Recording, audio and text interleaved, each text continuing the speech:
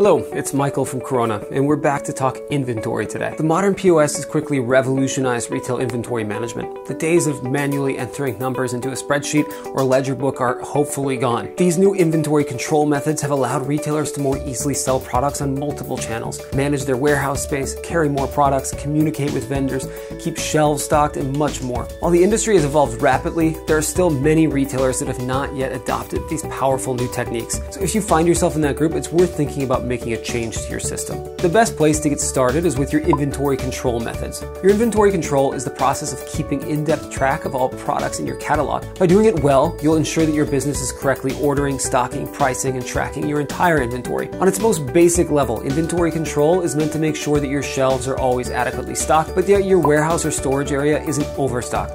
You should know exactly where your inventory is and how much you have at any moment. There are many different ways of measuring and managing your inventory.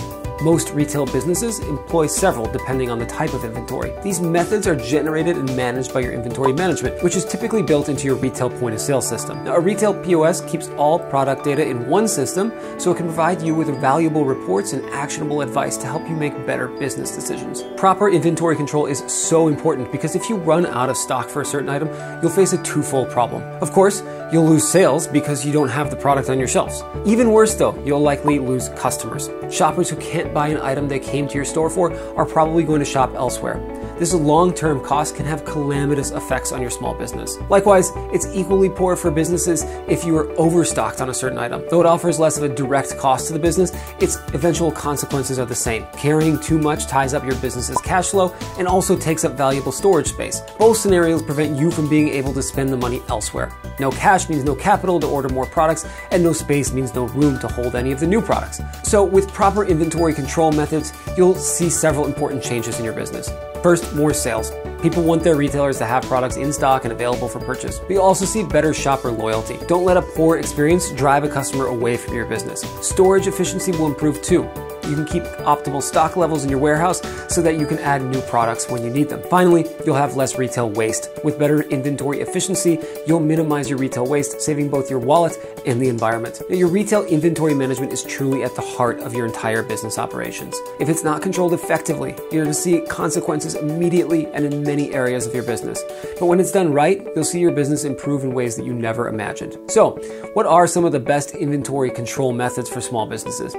I wanted to quickly go over 11 of the most important that our customers commonly use. So, number one, ABC Retail Analytics. ABC Analysis breaks down your entire inventory catalog item by item. In doing so, it assigns a letter grade, A, B, or C, to each item based on its revenue and profitability. The grade allows you to quickly identify which products are doing well and which need a change. This can help with your pricing strategies and marketing efforts. Even better, your POS can grade your inventory and produce a detailed report in just 15 seconds. Second, just in time inventory control. This method is often just shorted to JIT, and it lessens the amount of inventory that a business has on hand at any given time. Instead, it tries to order products as needed, waiting until the last minute to receive new inventory.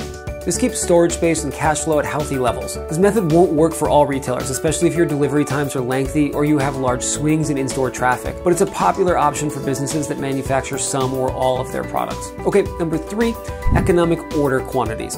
Also commonly shortened EOQs try to find the perfect balance between going out of stock and being overstocked. The formula for implementing EOQ control is hard to devise and based on a number of factors, including cost of production, rate of demand, annual sales, ordering cost, carrying or storage costs, and order quantity. Fourth, choose custom par levels. Setting custom par levels in your POS system's inventory control software allows you to get notifications for each stock item when they hit a certain level. This level will be different for each of your products. Spend some time trying to determine a smart level for each item based on a number of factors like how long it takes to sell, order, pending duration, delivery time, case size, and minimum order. This inventory control technique does require some time and effort up front, but it'll pay off in the long run the par levels can be set and all future ordering will be automated. Next, FIFO and LIFO. A few of the more common inventory control methods you might have already heard of. First in, first out, and last in, first out are popular costing methods for retailers. They differ in how to calculate sales against cost though. FIFO measures the sales against the cost of the longest standing order in the store, while LIFO calculates the cost of the sale against the cost of the most recent order. Each costing method has different merits, though most retailers are likely to rely on the FIFO method. Sixth, vendor relationship management and auto ordering. It's important to maintain a healthy relationship with all vendors. Late orders, missed payments, or other frustrating behavior can strain your vendor relations and hurt your business. Having your vendor relations built into your POS software makes this much easier and pain free. You can set stock notifications to alert you to place an order, or just have your POS do it for you with automated ordering. Okay, number seven, demand forecasting. Look at reporting and analytics from prior years to get an idea of when your slow and busy times are. For most retailers, a typical July order is very different from one in December. You must be able to anticipate a predicted amount that you'll sell. It's impossible to do so perfectly, but ballparking a range will help prevent against catastrophic miscalculations. Eighth, minimum order quantity.